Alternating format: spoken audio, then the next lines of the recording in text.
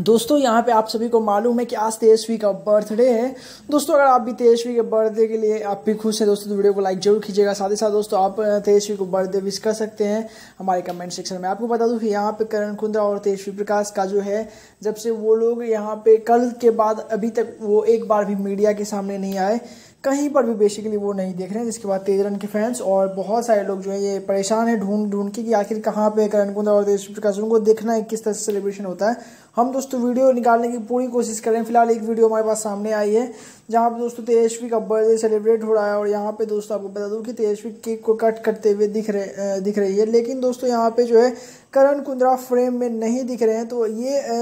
Confirm नहीं है कि ये वीडियो कब की है, लेकिन दोस्तों आपको बता दूँ कि ये बहुत ही ज़बरदस्त यहाँ पे बर्थडे के सेलिब्रेशन हुआ, हो रहा है। लेकिन दोस्तों अभी की जो रिपोर्ट है वो ये है कि इन लोगों का जो पार्टी है फैमिली पार्टी होने वाला है बर्थडे का,